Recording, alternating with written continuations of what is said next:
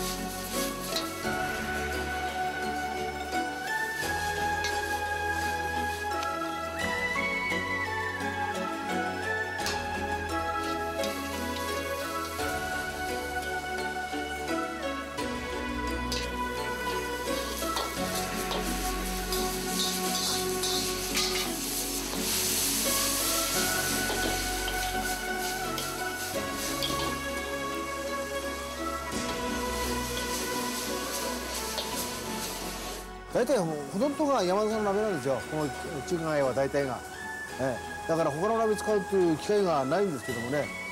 どっちかというとやっぱりこれで慣れてるからあの他の鍋を使うとその振っててもなんていうの回収方が違うとかね。やっぱり自分に合ったものでないと道具はやりづらいよね。仕事には歯がいかない。手作りでしょ、うん、だからすごく気持ちがこもってるよね。この鍋に命かけてますからねあの人は。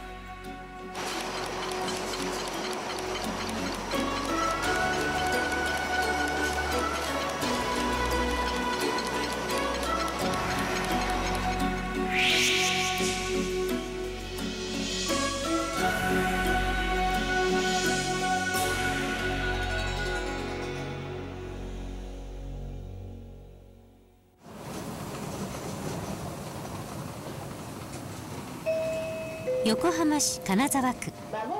この町の工業団地の一角に日本で唯一の打ち出し中華鍋を作っている会社があります。昭和32年創業の山田工業所。工場の中は鉄を打つけたたましい音に包まれています。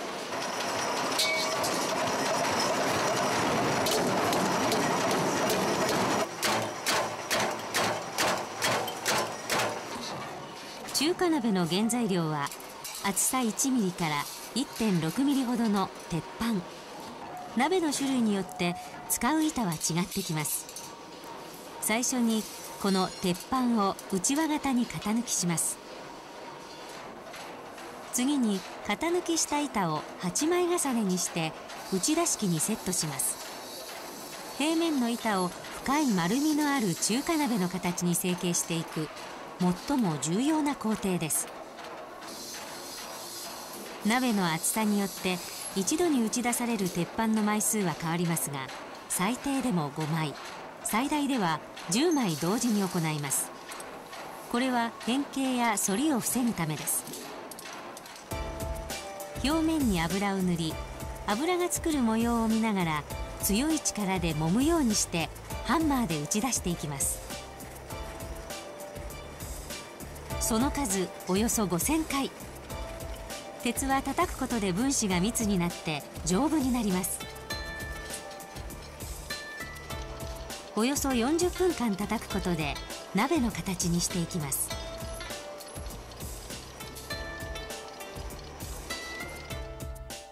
中華鍋は一般的にはプレス機で打ち抜き大量生産する方法が取られています。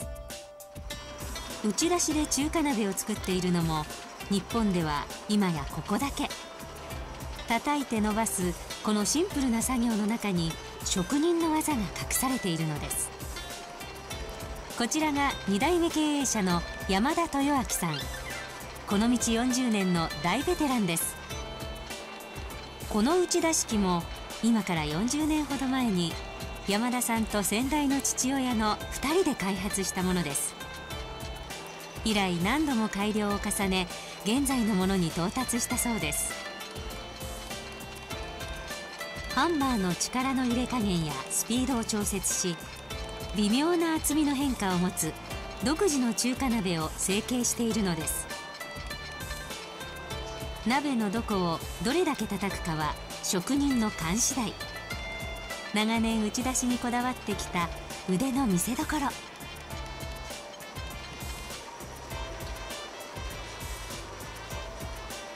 打ち出しで作り出す中華鍋の特性について山田さんに聞いてみました。叩くことによってあの鍋が軽くなるんですね。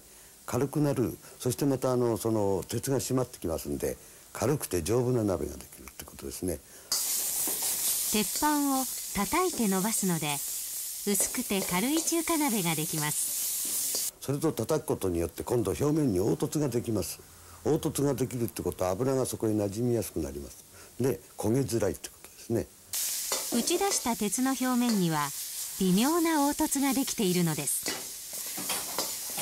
それとですねやはりあのこの鉄板をいじめてますんであの組織が変わることによって錆びづらくなるってことですね。鉄の中にある空気を叩き出してしまうから腐食しにくいのです。あとはあのその下からコンロで熱を上げた時にある部分を薄くしてありますんでそうすると熱吸収がいいんですね。鉄の分子が細かくなり材質が変化するので熱の伝わりが良くなるのです。はい。ここに火が当たるわけですね。それで火が当たったやつがここからこう上がっていくわけですよ。ところがここを薄くするんですねここを。ここを薄くすることによって上がった火がここで中に入り込むわけです。鉄が薄いですから、え、そうするとこの中でもっていろんな料理がここからあの出た熱を吸収してシャキッとした料理ができるわけですね。でここは1.2ミリのここはあの少しこういじめてますから1ミリぐらいになって。でまずここだけが0.5ミリ。そうするとここが薄くなってるから逆にこう火が当たった時にここから熱を吸収してくれるってこういうことです。打ち出しとあのプレスの違いっていうのはそのこの中のメカニック。これにあります。火の当たる部分によって微妙に厚みを変える。打ち出し技術が可能にした山田式中華鍋の一番の特徴です。打ち出し後中華鍋はどのような工程を経て完成していくのでしょう。ここからの工程では打ち出し鍋といえどもプレス機のお世話になります。まず打ち出しで残った上部のへりをプレス機にかけて起こします。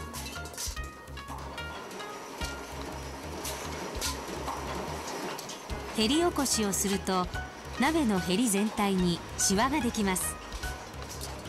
そのシワを叩いて伸ばしていくのがへりならし。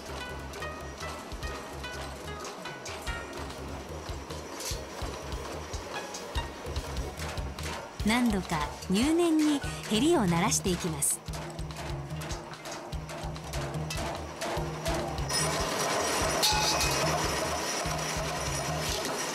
次に鍋の底を鳴らし滑らかにします。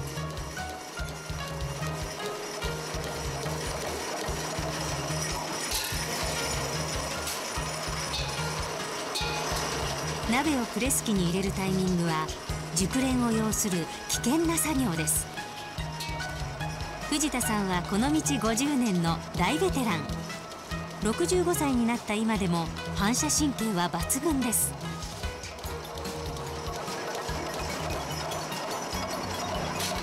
そして取っ手になる部分にトレードマークを刻印します。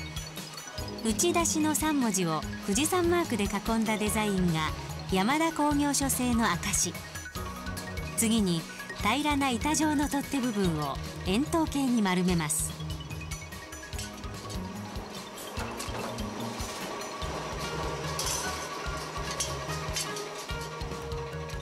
取っ手部分と鍋本体の隙間には後から外部で三角形の鉄板が溶接されます。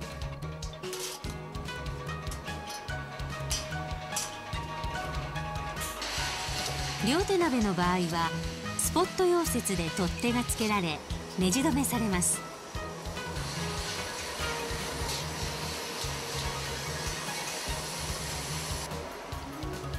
最後に溶剤で洗浄し艶出しと錆止めの目的でニスを塗ります。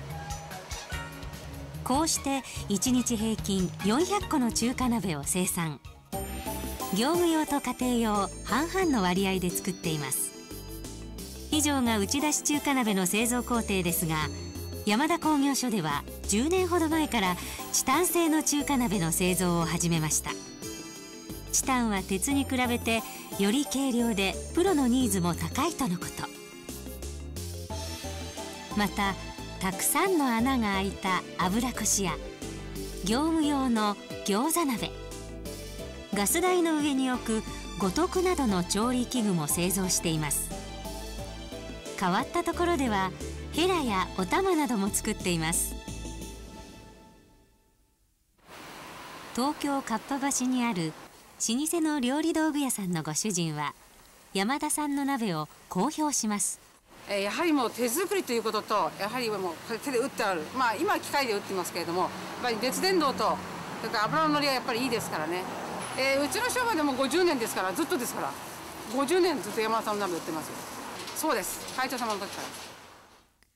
山田さんの父会長の久夫さんは84歳になった今でも毎日工場に出て生涯現役を貫いています。息子である社長の山田さんはものづくりのノウハウを先代から徹底的に叩き込まれたといいます。昔はこれらの作業を全て2人1組の手仕事で行っていました。そのため1日に5個程度しか中華鍋はできなかったそうです。そして今山田さんの2人の息子さんたちも工場で働いていて貴重な戦力となっています。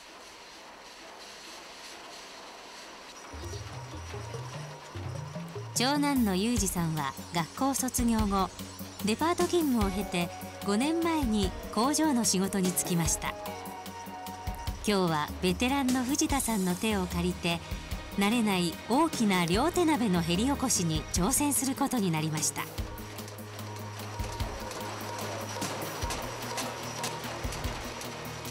直径が72センチもある業務用の特殊な中華鍋です。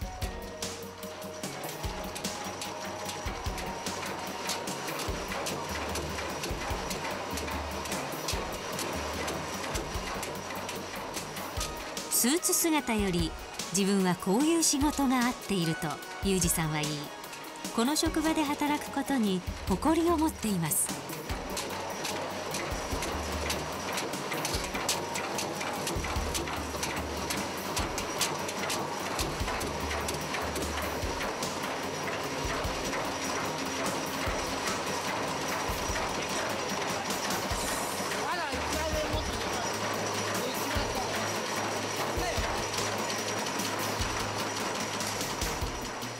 藤田さんから何度も細かい指示を受けます。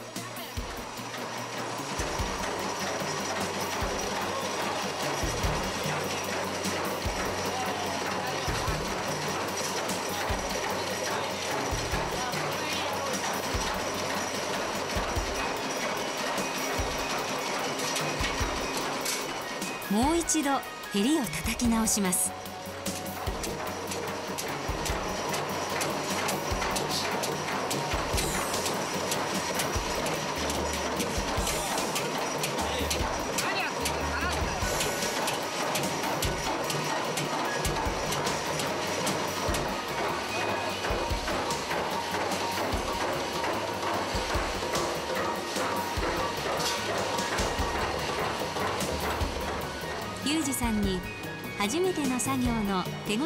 聞いてみました。普段いつも一人でやるときはどうしてもやっぱ半分ずつ半分ずつで中のところを鳴らすときも休み休み手がパンパンになっちゃうのでもう鍋握れないんですだけどやっぱそれは、まあ、自分がまだ未熟っていうのがあるんでやっぱコツと力加減と、まあ、確かにあの人力があるんですけど、まあ、それ以上の何かがやっぱりあるんでそれはもうやらないとやっぱりわからないということしか言われないんでね最近はだから初めはやっぱやらせてくれって言われても断られてたんですよね危ないからやらせられないでずっとこう横についてこうやって眺めててああだこうだっていろいろ聞きながらやってたらあのやっとなんかやってみるかっていうまあちっちゃいやつからですけどねやってみるかっていうことを言ってくれてそれからちょっと少しずつなんかやらせてもらうようになって若い人にしちゃやる方じゃないかな。自分家のうちとしてじゃなく、うん、自分家のうちでもまあねやればもっと甘えたりなんかしてんだけどそういうあれはないからね。自分で一生懸命やろうっていう。やっぱりほらちょっと鈍いとねあれでも僕なんかでもやっぱりたまにはありますよ。ぼーっとしてる時はねなんか他のこと考えてるとプレスに噛まれちゃうことあるんですよ。ヘリをね。そうするとまたパッと目開き直して、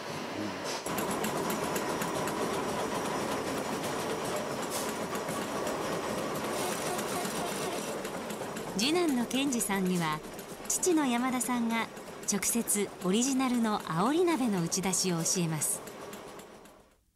この中華鍋は激しい鍋振りにも素材が飛び出ることがないよう鍋の上部の開きに工夫がしてあります。深さが全然違うから手前とあの反対側ね。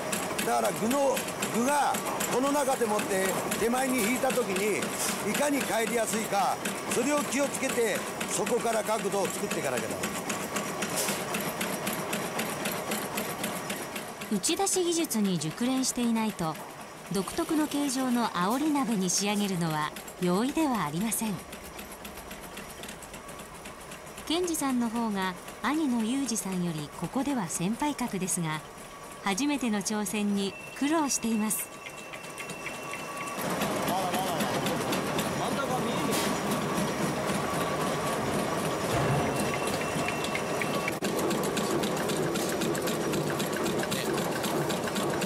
これで測るところによって違うんだよなここか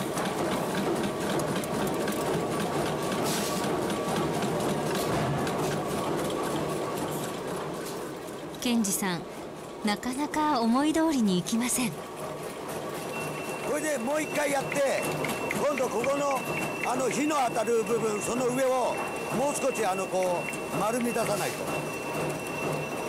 こう送りのを細かくやれよ。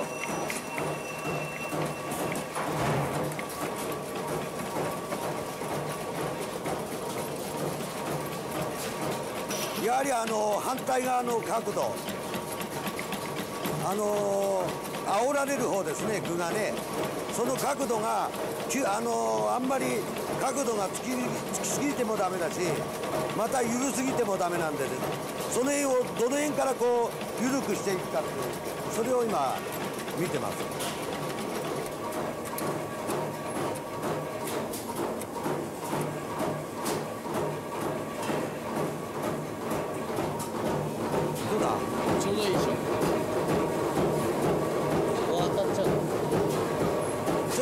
ともう少しこっちに回してみろよ。嘘をこっちに持ってちょっとねこう寄せてシャンプー。ちょっと向け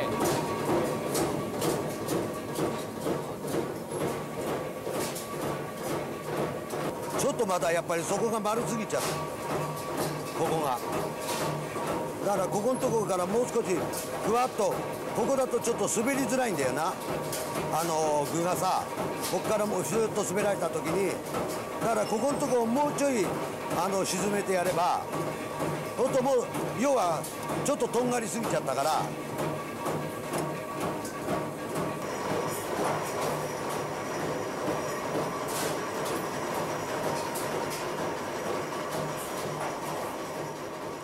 健二さんの仕事ぶりについて山田さんに聞いてみました。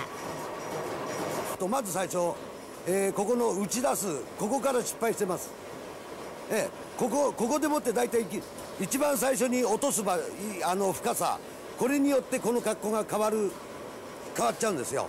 だからまずここがまずちょっと甘すぎたってことですね最初に落とす場所が。だからこういうお鍋になっちゃう。ここがもう少しあの強くこう角度つけてあげるとその分ここがふわっとしてきますんでここが平らになってくる。そうですね。やっぱりこの叩いた時にあのこういう状態でテーブルが回ってるわけですね。そうするとハンマーっていうのがここから当たる感じなんです。こっちは当たらないですね初め。だそうするとやっぱりそそこのタイミングっていうか当てる部分の力のかけ方っていうのがだいぶ難しいんじゃないかなと思います。他の鍋叩いてるからそんなに時間はかからないとは思います、ええ、あとはそのハンマーの下ろしと送りこれの調整でもってあのこういう綺麗ない鍋が作れるとは思いますけどね。この後健二さん一人で煽り鍋の打ち出しに再チャレンジしました打ち出しの中華鍋作りの技術を生かしてこの工場では全く別のものも作っています。はい今ねだいぶ合ってきました。はい。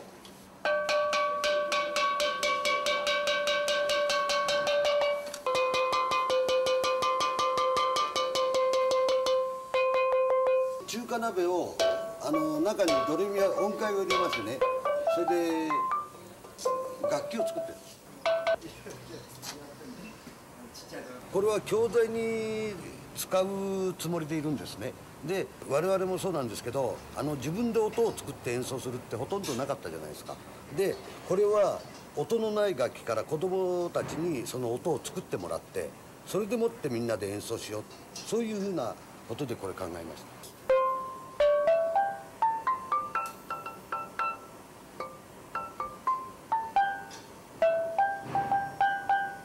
という並びだそうです。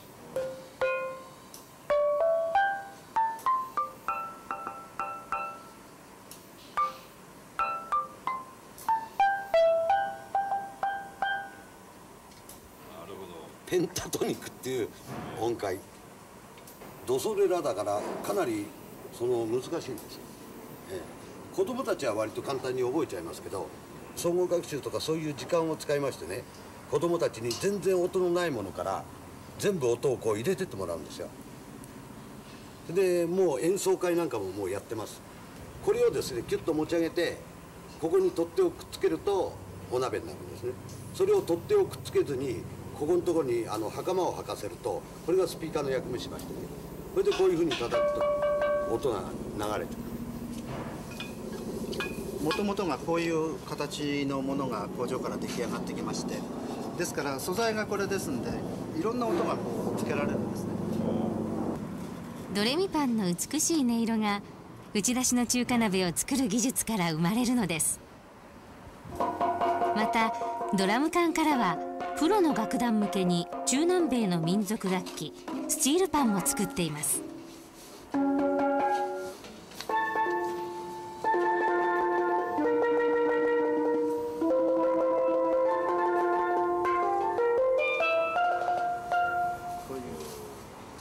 まだまだ一般的ではないんですけども、あのまあ、ようやくあのこういうものがこう作れるようになってきたのであの日本でもこれから普及していくんじゃないかなと思います。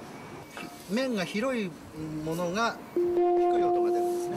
で面の小さいものが高い音が出るんですがここのあの微妙な角度の調節でもってこの鉄板を叩くことで音色が変わってくるんです。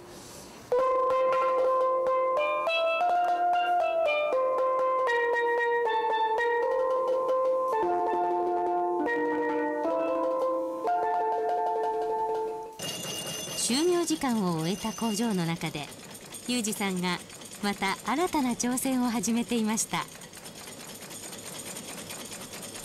スチールパン用のドラム缶の打ち出しです。少し今度こういう傾斜にしなきゃなんないから。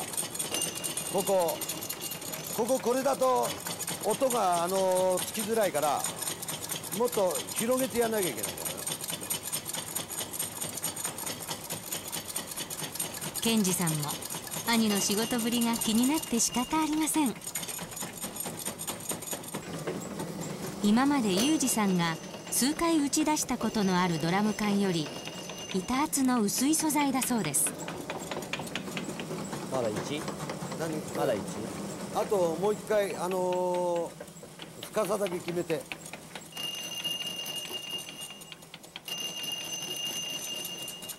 もう大体これでもって OK ですね。これが今度逆にあの気持ちばっかり焦っちゃうともうほとんどこう割れる仕事になっちゃう。およそ1時間半をかけてようやく打ち出し作業が終わりました。できればねもう少しねここのハンマーを次の人の打つ人のためにはもう少し綺麗な方がやっぱやりやすさは格然と違うんで。ね自分がいいんじゃなくて他の次の人のことを考えるともう少し修行のしないとって感じですね、まあ、板圧がちょっと違うんですよ。前にやってたのはこれ1.2ミリらしいんですけど1.6ミリ。1.6ミリだとやっぱり切れる確率が全然違うんで叩き方が全く違う状態で叩けるんでそっちの方がやっぱ厚い方が楽に叩けるんですよね。ハンマーにまだ使われちゃってるんですね機械に。これを機械を使使えるようになればもっとまるっきり違うものがでできてきますんでまあ慣れですね。技術っていうのはほとんどあのやっていけば学べるもんでありますよね。でそうじゃなくてやはりこれを応用した何かいろんなものを今度考えてもらえればね。まあお鍋だけじゃなくてですね。あの先ほどの楽器のようにまた楽器以外にもまだたくさんいろんなものがあると思うんですね。またそういうものも作れるようにそういう環境になってもらえればと思います。今までやってる人の経験全てをやっぱり直に教えてもらいながら体を使って覚えていくっていうことがすごく大切だなとやっぱ思ったんでそれはやっぱり今も、定年を迎えた人たちが結構いっぱいいますけど、まあ、自分たちも先は長くねえからって言ってこう教えてくれる姿ですかね。やっぱそういうのもすごく嬉しいんで今なるべく全ての技術を2人と2人でですねこう分け合いながらいつこう何時なんですかねこうみんながいなくなったっていうのは変ですけどそういうふうになった状態でも2人でこう技術を合わせてこう教えながらっていうんですかね。いい意味に弟とすごくいい感じで仕事の方が教えてもらったり教えたりという感じの関係が今保ててるんで。じゃあお前は鍋俺は襟起こしっていう。分けた上でこうその後にどうだったってこうだったこれどうするって言った時にこう教えら教え合い合えるような感じにしてはいきたいなと。まあ今僕が中華鍋の方を叩いてますね。えでまあ2人全く違うことをやってでまあそこから全くそこを切り替えた時に、まあ、兄貴と俺がまたそこで教え合うみたいな感じですよね、うん、分かんない親から子へ3世代にわたって打ち出し中華鍋を作り続ける山田工業所。その未来は限りなく明るく輝いて見えます。中華料理では鍋は料理人の命。料理人が常に味に挑戦しているように中華鍋の開発も少しでも軽く丈夫で長持ちする品を目指した終わりのない挑戦なのです。